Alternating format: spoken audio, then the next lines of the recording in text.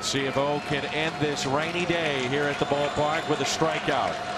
He does, and the Cardinals win it three to nothing. They have taken the first two in this series.